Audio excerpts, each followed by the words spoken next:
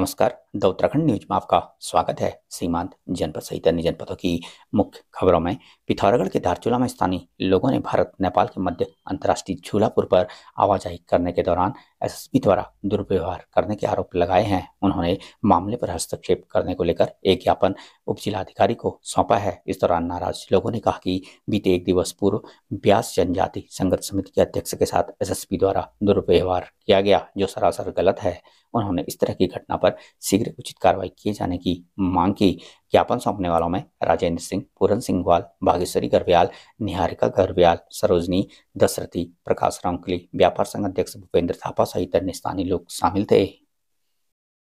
पिथौरागढ़ जिला मुख्यालय में नया बाज़ार के निकट रहने वाली दुर्गा देवी टमटा का सौ वर्ष की आयु में बीते दिवस निधन हो गया। दुर्गा देवी की अंत्येष्टि रामेश्वर घाट में की गई। उनके पुत्र पूरन टमटा और पंकज टमटा ने मुखाग्नि दी। उनके निधन पर रामला कमेटी के अध्यक्ष भूपेंद्र सिंह मेहरा, सुनील वर्मा, राकेश शाह सहित विभिन्न संगठनों ने शोक व्यक्त किया है।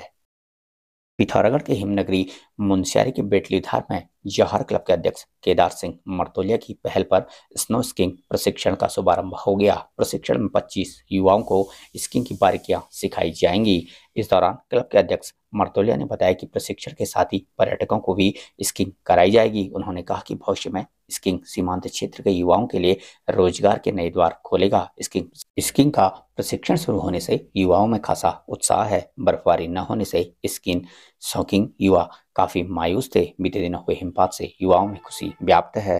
पिथौरागढ़ पुलिस अधीक्षक लोकेश्वर सिंह के आदेशानुसार वारंटी आरोपियों की गिरफ्तारी के लिए चलाए जा रहे सघन अभियान के तहत थानाध्यक्ष जाजर देवल, प्रकाश चंद्र पांडे के नेतृत्व में उप निरीक्षक मीनाक्षी मनराल एवं हेड कांस्टेबल गोविंद वर्मा व कांस्टेबल सुरेंद्र सिंह द्वारा न्यायालय से जारी गैर जमानती वारंट के अनुपालन में वारंटी आरोपिता रश्मि मेहता को जाजर देवल बाज़ार से गिरफ़्तार कर न्यायालय के समक्ष प्रस्तुत किया गया।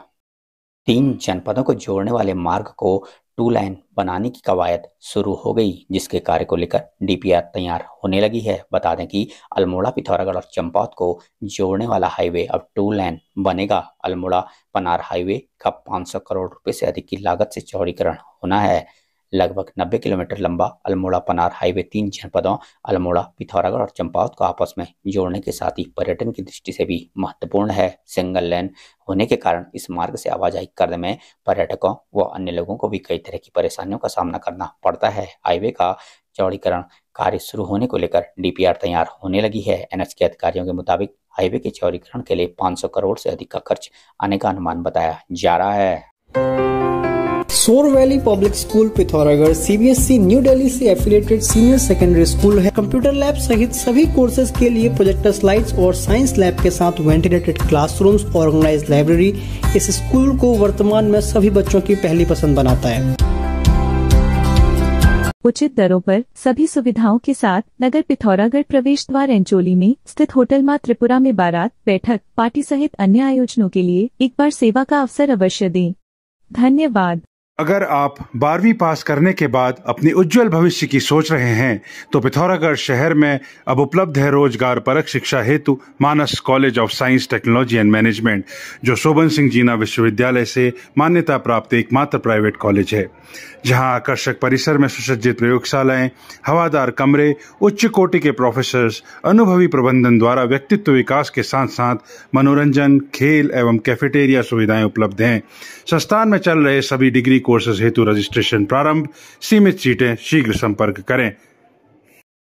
अब अपने घर को बनाए और भी शानदार और लग्जूरियस हमारे नए होम डेकोरेटिंग फर्नीचर कलेक्शन के साथ sofa set dining table dressing table व बेड के साथ और भी बहुत कुछ यहाँ आपको मिलेगा। हर फर्नीचर को अपने घर के अनुसार डिज़ाइन करने की सुविधा हाई क्वालिटी के फर्नीचर सबसे किफायती कीमतों पर। आज ही घर लाए अपनी चॉइस का फर्नीचर क्लासिक से मॉडर्न डिज़ाइन के आरामदायक फर्नीचर तो देर किस बात की? अभी संपर्क करें या चले आए कमल फर्नीचर नया बाज़ार, पिथौरागढ़। पिथौरागढ़ के भिंड क्षेत्र में भड़कटिया से सिरादेवल मंदिर को जोड़ने वाले मार्ग को बंद किए जाने से परेशान हुए ग्रामीणों ने बीते दिवस कलेक्ट्रेट पहुंचकर जिलाधिकारी से बंद किए मार्ग को खुलवाए जाने की मांग की। इस दौरान जाकुटा पहाड़ के संयोजक गोपू मेहर ने चेतावनी देते हुए कहा कि यदि आगामी 10 फरवरी तक मार्ग को नहीं खोला जाता तो जागुटा पहाड़ के सदस्य क्षेत्रवासियों के साथ धरना प्रदर्शन करेंगे और मार्ग न खोले जाने तक आंदोलन जारी रहेगा। उन्होंने बताया कि छपट्टी सूर के आराध्य देव देवल समेत बाबा, जिनका सिराजौल स्थित मंदिर में विगत कई वर्षों से सेना के द्वारा मार्ग को बाधित किया गया है और जहाँ श्रद्धालुओं के आने जाने में काफ़ी दिक्कतों का सामना करना पड़ रहा है।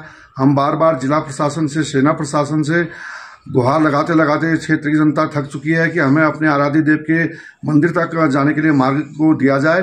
किंतु लगातार हमारी अनसुनी की जा रही है और आज हमने जिलाधिकारी महोदय से मिलकर के स्पष्ट कर दिया गया, यदि दस तारीख तक, दस फरवरी तक मार्ग को नहीं खोला गया तो ग्यारह फरवरी से जाग उठा पहाड़ के सदस्य, समस्त बाईस गाँवों की जनता के साथ सेना मुख्यालय के समीप धरना प्रदर्शन करेंगे और ये धरना प्रदर्शन तब तक जारी रहेगा जब तक हमें हमारे आराध्य इष्ट देव के मंदिर तक जाने का मार्ग नहीं मुहैया किया जाता है।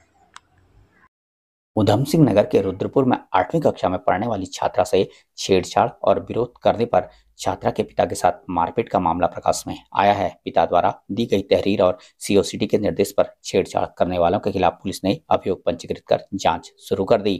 मिली जानकारी के अनुसार रुद्रपुर के तराई बिहार कॉलोनी निवासी एक व्यक्ति ने पुलिस को बताया कि उसकी बेटी एक इंटर कॉलेज में आठवीं की छात्रा है। पीत बिहार कॉलोनी निवासी विनोद उसकी बेटी से आए दिन छेड़छाड़ और अभद्र टिप्पणी करता है। जब उसकी बेटी ने विरोध किया तो उसको उठाकर ले जाने की धमकी दी गई। बीते अगस्त माह में रात को उन्होंने बेटी के साथ हो रही छेड़खानी के घटना का विरोध किया तो विनोद उसके भाई सोनू कौशल और एक अन्य व्यक्ति ने उनके साथ गाली गलौज मारपीट और जान से मारने की धमकी दी। उन्होंने पुलिस के पास शिकायती पत्र भी दिया था।